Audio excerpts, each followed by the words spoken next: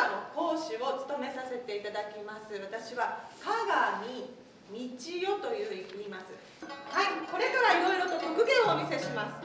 先ほど言ったように大神楽というのはとても神社とつながっていてなんでつながっていたかっていうと皆様に、えー、いいことがあるように神様の、えー、お守りがあるように、まあ、ちょっとそういうこと言うとすごく修行っぽくなっちゃうんですけれどでもまあ皆さんがね、幸せに笑顔になっていくようにというお祈りを込めた芸ですこの柄の長いお茶碗を顎の上に乗せてここにあるいろいろなお道具を上に積み上げていきます。皆さんの幸せも上へ上へと積み重なっていきますよ。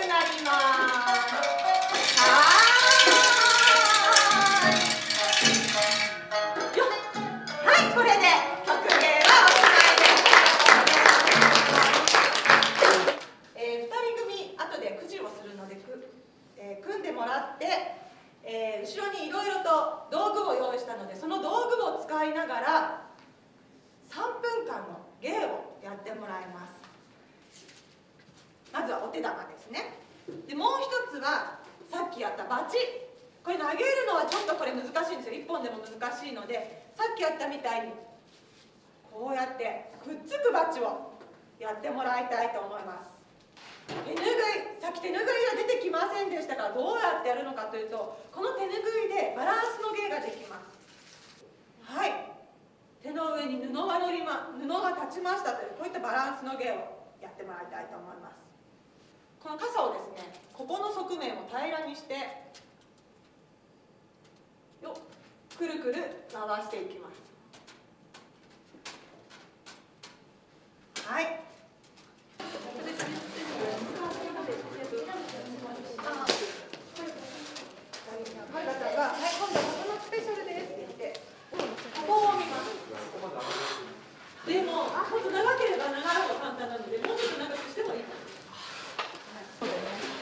これをこのままこうこう。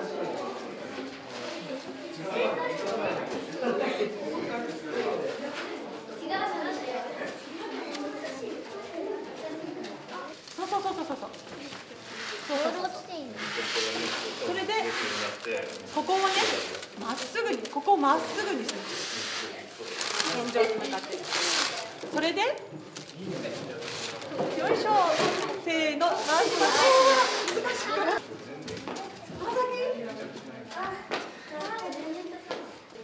せーの、よ。あ、そうですね。おお、いいじゃないですか。いいじゃないですか。そこでは気の利いた一言がこうあと言えればね。はい、おめでとうございます。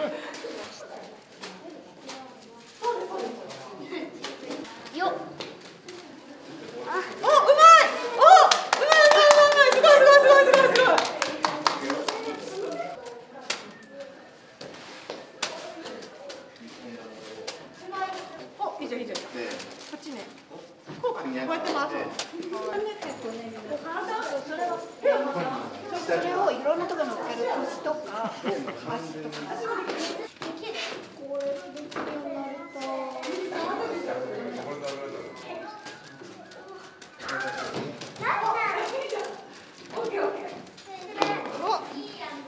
これうちょっと難しい、大。筋あって、そうです。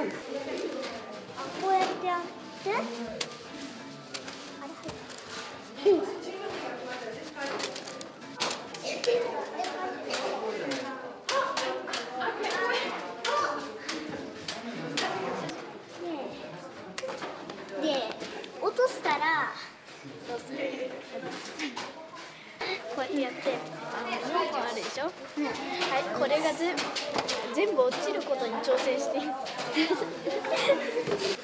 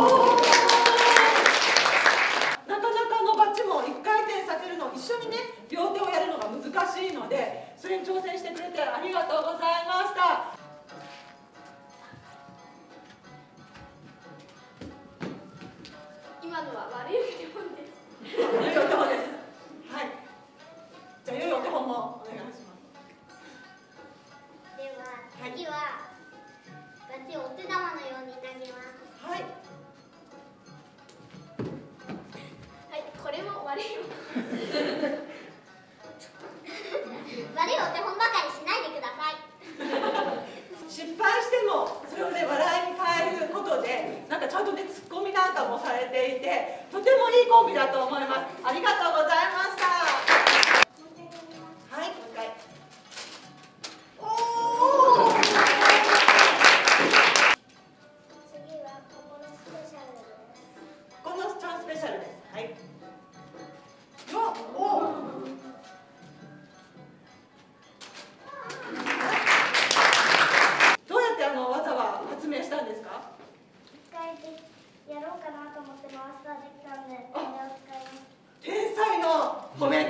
りがとうございます。はい、今度、片手ずつ、はい、今度交互に取る。おお。棒がくっついています。離しても大丈夫です。